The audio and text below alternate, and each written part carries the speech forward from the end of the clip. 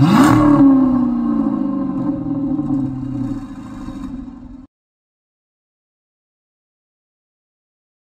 guys! So every now and again we look at some Mopars from across the world that other people have access to, but they aren't released for the American or Canadian market. I always find it nice to broaden my learning a little bit and see what the rest of the world has to offer in terms of Mopars. So today we are checking out the new 2021 Ram 700 that was just updated for the Latin American market. It's also sold in the Middle East as well, but obviously not for other parts of North America. These are very different than our Ram full-size pickups, but I still think it's very interesting to see nonetheless. So let's get right into it. So first off, you'll notice in the video that I will use some Fiat branded photos as well, and many of you might jump in the comments section about how this truck is rebadged, and yes, that is correct. This is mechanically identical to the Fiat Strada, but ever since the 2015 model year, it has also been rebadged and redesigned by Ram Trucks for various Latin American markets as the Ram 700. So earlier this October, just about a week ago actually, Ram released their second gen 700, which is a subcompact pickup truck. This second gen is on an all-new platform with a four-door double cab configuration, and that's something that hasn't been done before in the subcompact segment. If you're wondering where exactly this is sold, it'll be available in 14 different areas in Latin America starting in November 2020. Bolivia, China, Colombia, Costa Rica, Ecuador, El Salvador, Guatemala, Honduras, Mexico, Nicaragua, Panama, Peru, the Dominican Republic, and the Caribbean. There are three pretty familiar trim levels here, SLT, Bighorn, and Laramie.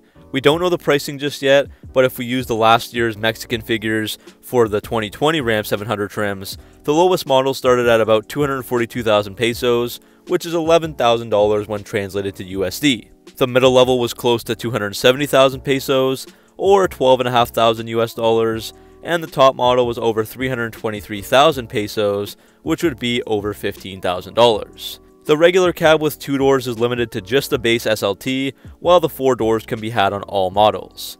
Ram seems to have spent lots of time making the 700 actually look like a Ram, with a bold Ram honeycomb grille, sleek headlights, and the big Ram logo on the tailgate.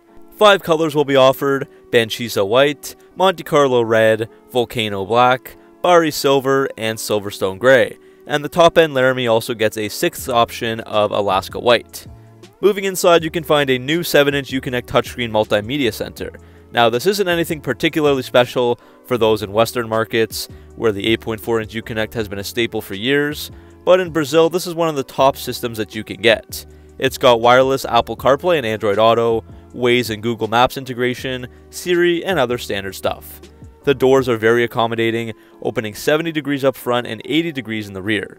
The cabin volume has increased by 30% due to the new platform the truck rides on, which we will talk about shortly.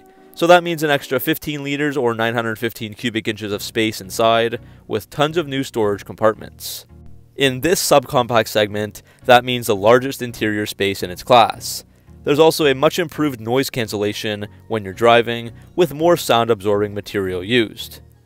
As for performance, the numbers are going to be way down from what you'd expect from a 3.6 liter V6 or a 5.7 liter V8 in North America, but of course the lower prices would reflect that.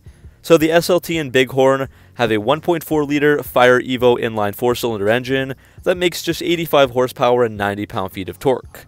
The top trim Laramie improves on that just a little bit with its 1.3 liter Firefly inline 4 with 99 horsepower and 94 pound feet of torque. Every truck gets paired with a 5-speed manual transmission with no automatic option at all, and they are all front-wheel drive only with no 4x4 capability.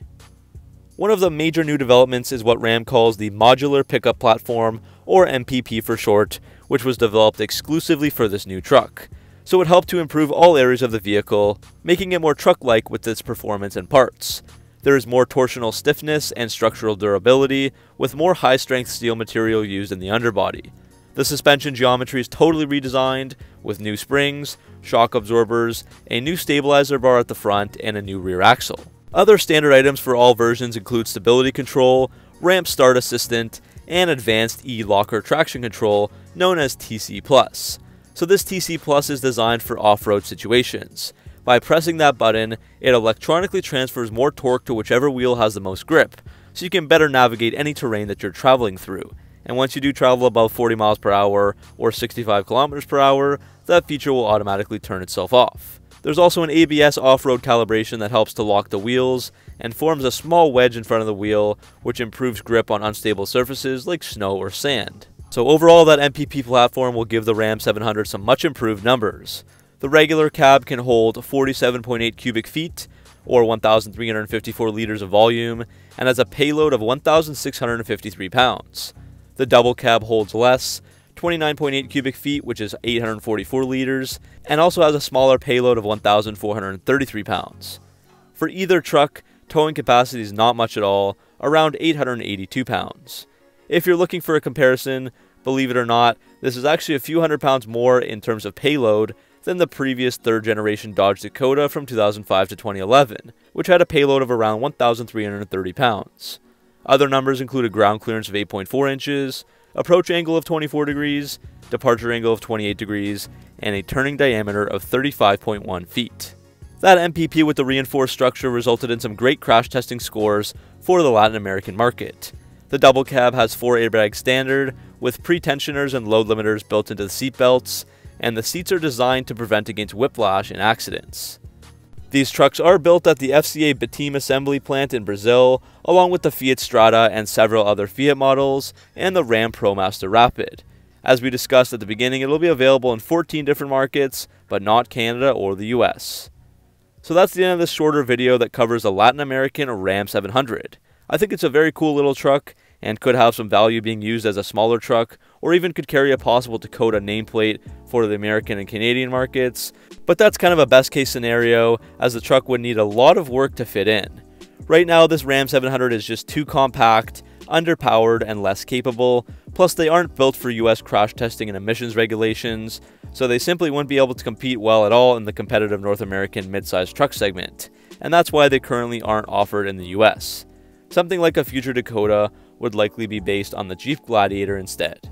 Anyways guys, hopefully you enjoyed this video, and make sure to let me know what you think about the new 2021 Ram 700 down in the comments section below. As always, thanks for watching, make sure to like and subscribe for all your Mopar, Ram, Dodge, and Chrysler content, and I'll see you guys in the next video.